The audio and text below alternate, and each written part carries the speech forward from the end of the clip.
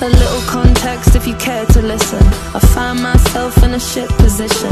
The man that I love sat me down last night and he told me that it's over, done decision. And I don't wanna feel how my heart is ripping. In fact, I don't wanna feel, so I stick to sipping. And I'm out on the town with a simple mission. In my little black dress and the shit is sitting. Just a heartbroken bitch, high heels, six inch in the back of the night.